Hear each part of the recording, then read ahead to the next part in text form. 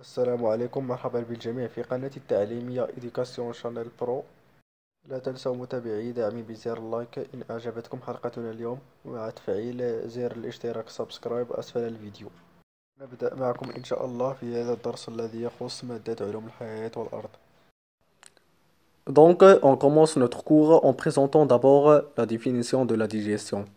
Donc, comme définition de cette digestion, on présente celle-ci.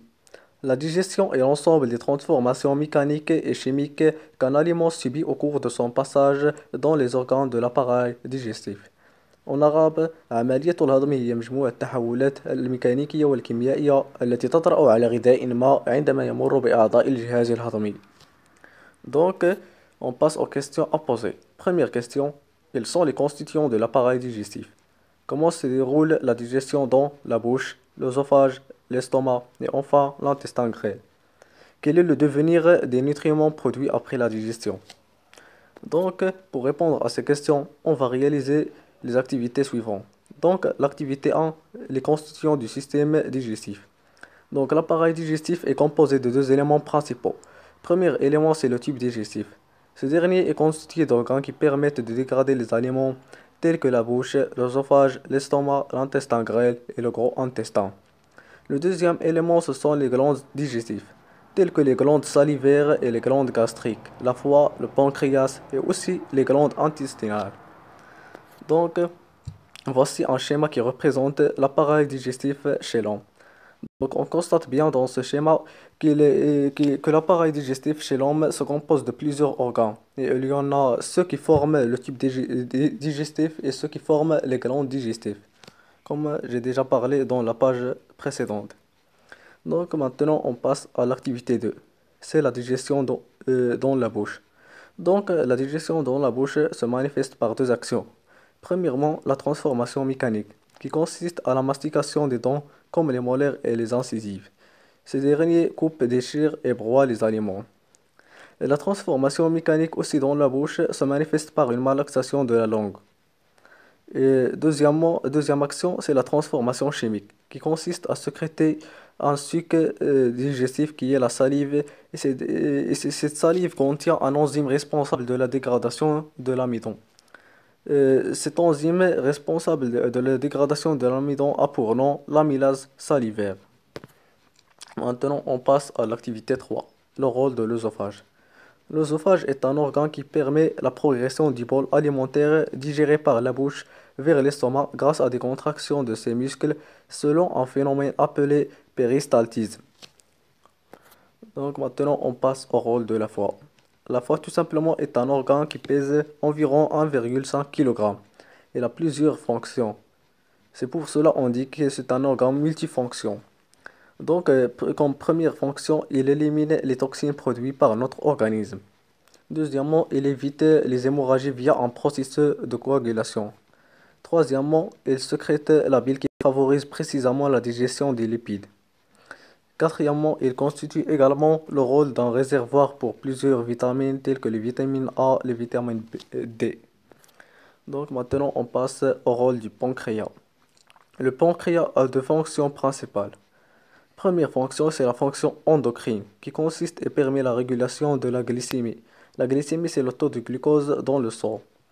Euh, la deuxième fonction, c'est la fonction exocrine, qui intervient dans la digestion en sécrétant des enzymes dans l'intestin grêle. Donc, maintenant, on passe à l'activité 4, la digestion dans l'estomac. Donc, la digestion dans l'estomac se manifeste par euh, deux transformations. Premièrement, c'est l'action mécanique donc, les contractions de l'estomac assurent le brassage des aliments et leur transformation en une substance appelée chyme.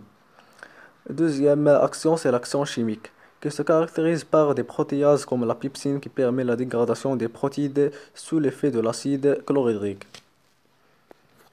Donc maintenant, on passe à l'activité 5, la digestion dans l'intestin grêle. Il faut d'abord savoir que l'intestin grêle est un organe vascularisé au finit la digestion de tous les aliments après avoir transformé en nutriments.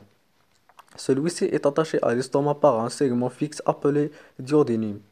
La longueur de l'intestin grêle est environ 6 mètres. Remarque.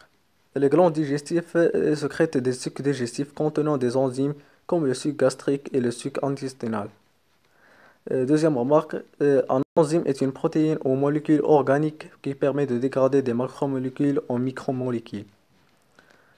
troisième remarque, les vitamines, l'eau et les sels minéraux ne seront pas digérés car ils sont déjà des micromolécules. Maintenant, on passe à la liste des réactions chimiques de digestion. Donc, euh, première euh, euh, réaction qui se situe dans la, dans la bouche, lorsque, lorsque la salive, qui est un sucre digestif, secrète l'amylase salivaire.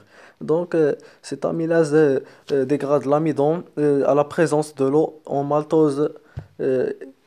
donc, deuxième réaction, elle se déroule dans le sucre gastrique la pepsine dégrade les protides en, en polypeptides.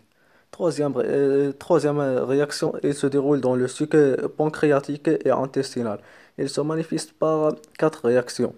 La trypsine euh, dégrade les protides en polypeptides. La peptidase dégrade les polypeptides en acides aminés. La maltase dégrade le maltose en glucose.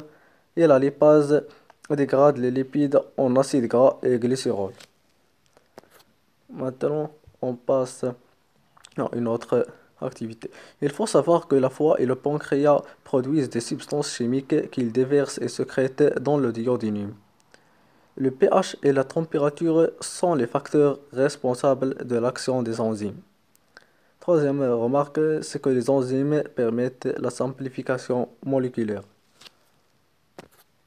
On passe maintenant à l'absorption intestinale. Donc, l'absorption intestinale est un phénomène qui consiste au passage des nutriments soit au sang ou bien dans la lave. Par exemple, le, glucose et les acides aminés passent dans le sang. Par contre, les acides gras et le glycérol passent dans la lave. Donc, c'est un processus qui permet de gagner les tissus qui ont besoin de ces nutriments. Maintenant, on passe à les choses qu'il faut savoir. Donc, euh, l'intestin grêle a une grande surface d'environ 300 euh, mètres carrés. Il est parcouru par un réseau très long et très dense de capillaires sanguins. Sa paroi interne est formée de plusieurs replis, et chacun de ces replis est recouvert d'un grand nombre de villosités. Donc, euh, comme conclusion, on déduit que l'intestin grêle assure la formation d'un kill intestinal euh, le grand intestin permet d'évacuer les déchets non digérés par euh, les excréments. Euh, il faut savoir aussi que la digestion in vitro est une digestion réalisée en dehors de l'organisme dans des types ASC par exemple. Maintenant, on passe. Voici un schéma qui représente la villosité intestinale. C'est dans cette paroi où se déroule l'absorption. Donc, euh, vous allez répondre sans doute que, euh, que lorsqu'on que le sang entrant est pauvre en nutriments et le sang sortant est riche en nutriments. Cela euh, va, nous, aider à en déduire le résultat suivant. L'absorption intestinale se fait dans l'intestin grêle car le sang sortant est riche en nutriments. Donc, maintenant, merci pour votre attention. وإلى اللقاء. لقد انتهت حصتنا اليوم. أتمنى أن يعجبكم الفيديو ولا تنسوا دعمي بزر لايك أسفل الفيديو مع تفعيل زر الاشتراك. سبسكرايب.